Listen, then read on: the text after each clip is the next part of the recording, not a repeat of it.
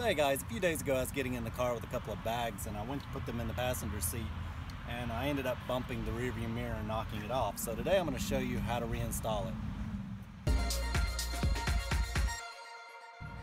Alright, so here's a few items you're going to need. First of all, you're going to need rearview mirror adhesive, a razor blade to remove the old adhesive from the windshield, but first you'll want to mark the outside of the glass with a marker, so you'll need a marker for that.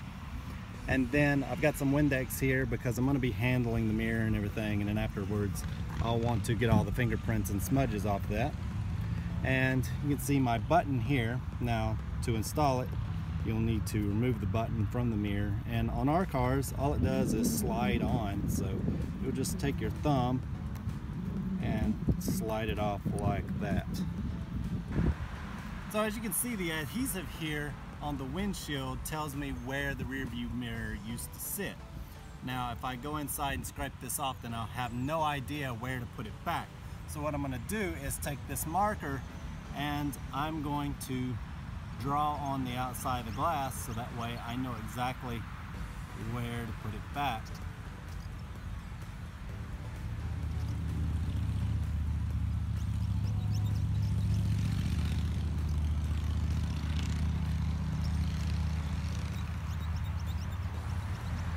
Might be hard to see on camera, but I can clearly see it here. Now, if you've already removed the adhesive, then you may not have any idea where to put it back. So in that case, all you need to do is find the center of your windshield,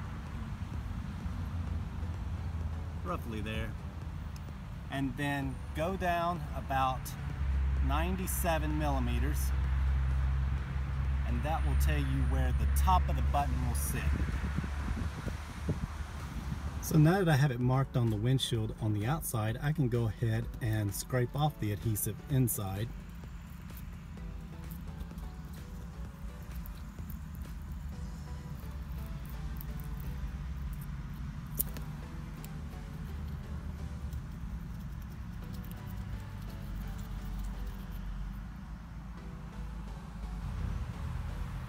once you have all the adhesive off the windshield, then you're going to go ahead and remove all the adhesive from the button in the same manner.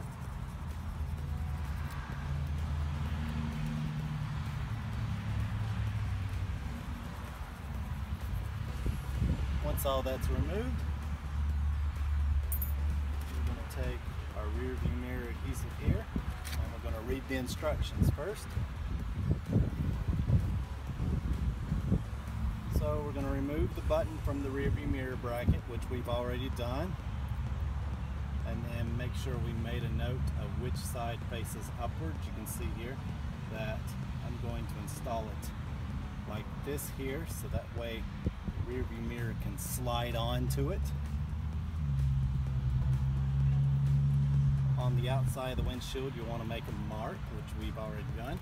I'm actually going to remove my dash cam here so that way you guys can see this better.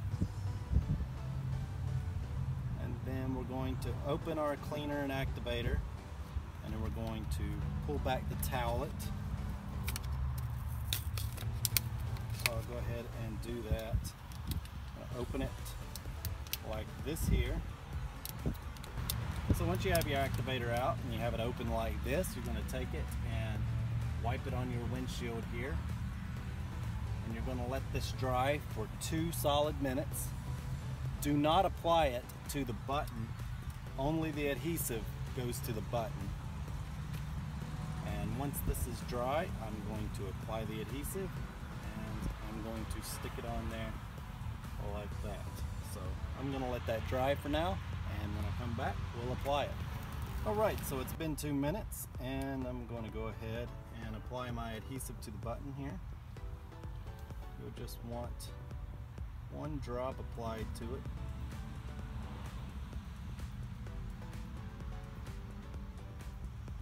Only apply the adhesive to the button. Do not apply it to both the windshield and the button. And you want to make sure that you have it oriented correctly.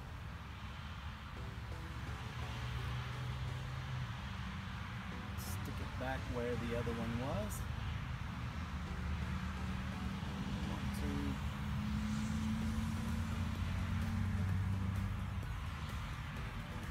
This in place for about a minute.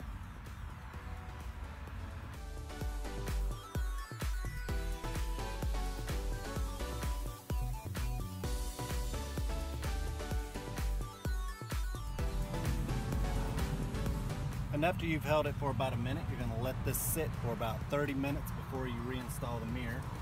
So I'll go ahead and clean all this up. And I'll come back out in 30 minutes and install the mirror.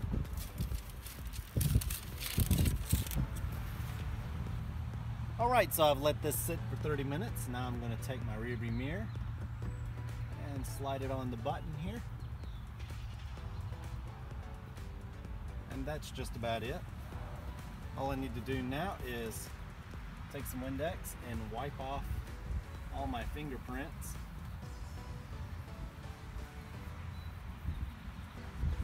And then I'll go around outside and I'll wipe off all that marker that I put on the windshield.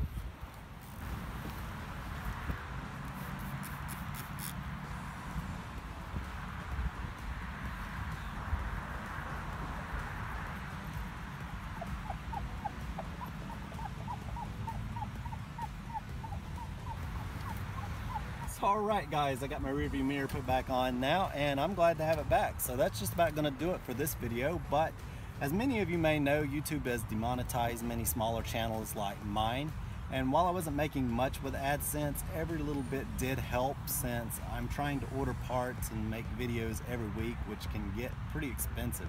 So i've opened up a patreon account and i'll put some of the names up on the screen now of my current patrons and if you'd like to support this channel anything you can give would be greatly appreciated.